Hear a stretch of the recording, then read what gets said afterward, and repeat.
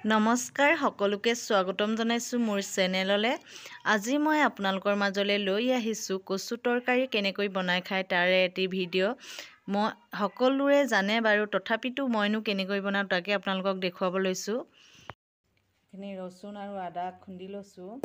পিঁয়াজ বিলাহী কণ বিলাহী হয় কণ বিলাহীখিনি কাটি লোৱা নাই পিটিকি দি পিনে গুটিখিনি উলিয়াই লৈছোঁ। এয়া দালি মুঠি ধুই থৈ লৈছোঁ আলু কেইটামান। আৰু এয়া জলকীয়া আৰু জালুক মাছখিনি ফ্ৰাই কৰি লৈছোঁ আৰু কচুখিনি এইখিনি। কচু শাক কোনে কোনে খাই ভাল পায়? কমেণ্ট কৰি জনাবচোন। মাছ ভজা তেলখিনিতে মই পিঁয়াজখিনি দি দিছোঁ। দেখিছেনে? তাৰপাছত পিচি ফেনে থৈ দিয়া আদা আৰু ৰচুনখিনিও দি ল'ম লগতে। জালুক আৰু জলকীয়াখিনিও লগতে দি লৈছোঁ। দেখিছেনে?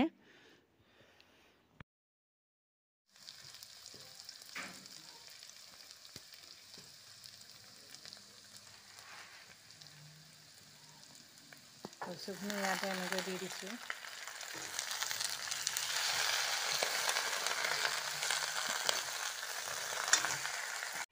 বৰ বেছি জ্বলা দিয়া নাই অলপহে দিছোঁ।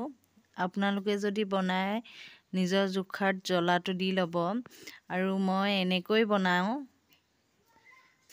এনেকৈ বনাই খাই খুব ভাল লাগে।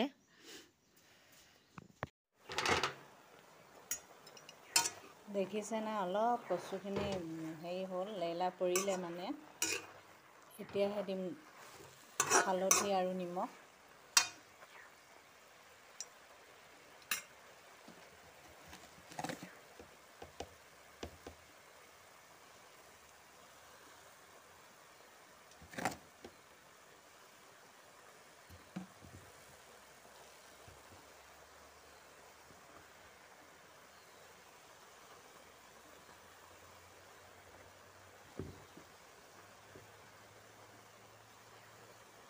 আৰু নিমখখিনি দি লৈছোঁ।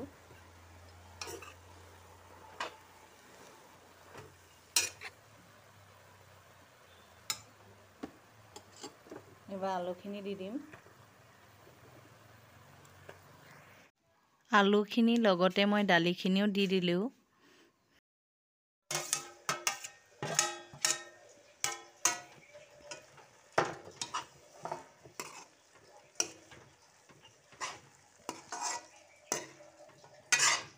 বিলাহীখিনিও অলপ ভাজি ল'ম এনেদৰে।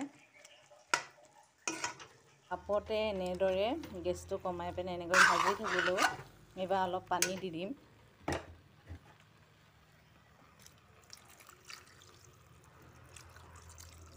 পানী বৰ বেছি নিদিওঁ। গেছটো বঢ়াই দিম এতিয়া। পানী আৰু অলপ দি দিম। আলুখিনি আৰু দালিখিনি ভালদৰে সিজিব লাগিব।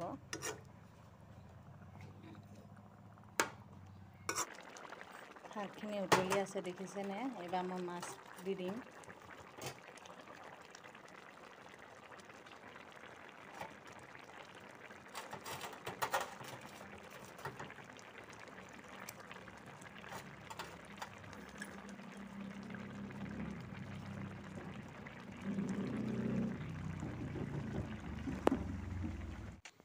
এয়াই আছিল কচু তৰকাৰী। আজি ভিডিঅ'টো ইমানেই। ধন্যবাদ।